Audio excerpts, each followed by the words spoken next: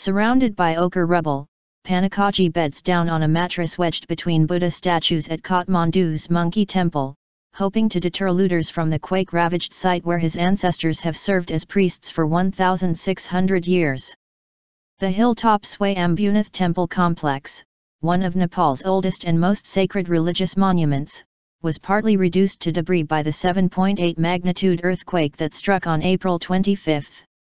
Some of the 7th century stupas remain intact and a few statues miraculously survived the disaster, but those that did now risk being pillaged by looters or desperate devotees hoping for a bit of good luck after the devastation.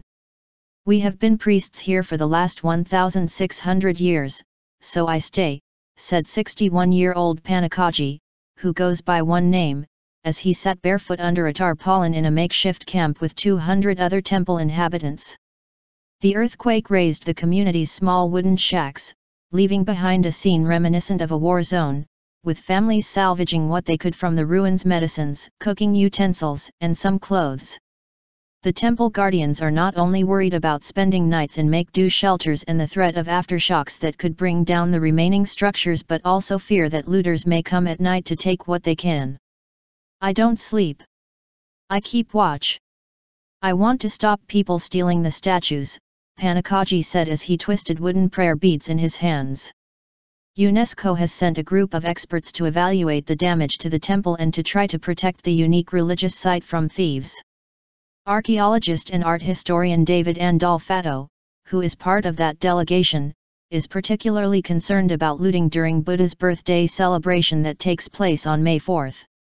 Many tiny statues made out of clay remain intact in the ruins, and it would be very easy to take them.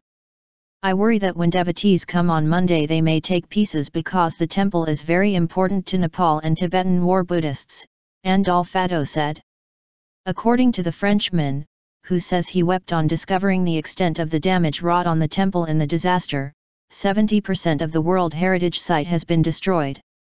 A statue of the deity Ajima, who offers protection against smallpox, stands mostly intact in one of the temple's prayer rooms, and Andolfatto is worried that people may try to take a piece of the figure in the hope it may provide protection.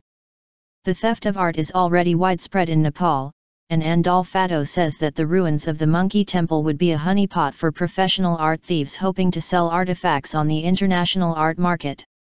Along with a group of volunteers and experts, he is photographing and cataloging all the artifacts as quickly as possible to thwart them. He also hopes to persuade the Nepalese authorities to block the trade of Himalayan art globally, particularly through prestigious international art houses like Christie's and Sotheby's. But amid all of the destruction there has also been some good news. The site's striking centerpiece, a white domed stupa topped with the painted eyes of Buddha survived the quake. And inside one of the monuments, the devastation revealed a series of progressively smaller statues constructed like a Russian babushka doll that would have otherwise remained hidden. Some unusual coins with Persian inscriptions were also found, exciting the experts who plan to have them investigated. Despite the risk that the few remaining temple structures could collapse, no one dares make the temple guardians leave. Tashi Phuntsok, a monk who has lived there for 11 years, chose to pitch his tent facing a panoramic view of Kathmandu and mountains a perfect spot for meditation. I stay so I can help, he said, with sunglasses perched on his nose. The temple's namesake monkeys lounge on the steep stairs that go up to the temple, enjoying the absence of tourists, as a group of novice monks begins to clear the ruins.